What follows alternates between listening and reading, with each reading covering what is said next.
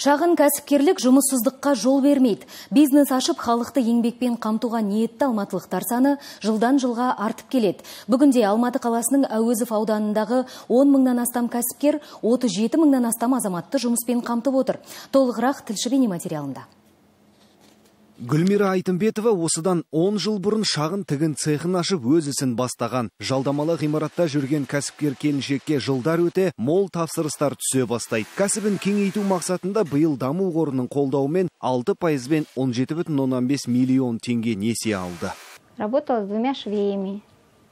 16 миллион теңгені ғимарат алуға жұмсадық. Бір жарым миллион теңгеге тігін жабдықтарын сатып алдық. Қазір айына бір мың дана дәмхана, мейрамханалар мен қонақ үйлер қызметшілеріне арналған костюмдер тігеміз. Басында тек Алматы қаласы бойынша ғана тапсырыстар алатынбыз. Қазір аймақтардан да сұраныстар түсе бастады. Мемлекеттік бағдарламалардың игілігін кәсіпкер өзі ғана көріп отырған жоқ. Бизнестің әлеуметтік жауапкершілігін ұстанып, 13 адамды жұмыспен қамтып отыр. Он шақты тігінші еңбекпен қамту орталығынан жолдама арқылы келген. Жастар практикасы бойынша да бірқатар адам осында нәпақасын тауып жүр.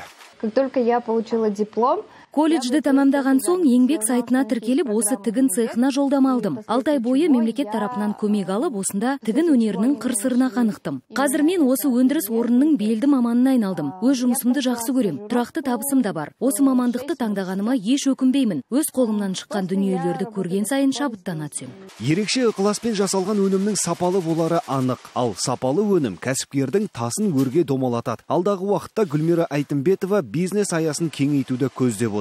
Мақсаты тігін цехынан шығатын арнайы киімдерді түрлендіру. Нәтижесінде цех аумағы кеңейіп он шақты жұмыс орны тағы ашылады. Бүгінде әуезов ауданында 10 мыңнан астам жеке кәсіпкер 37 мыңнан астам адамды жұмыспен қамтып отыр. Өмір әнуарбек меруерт төленова мақсұт манасов алматы телеарнасы.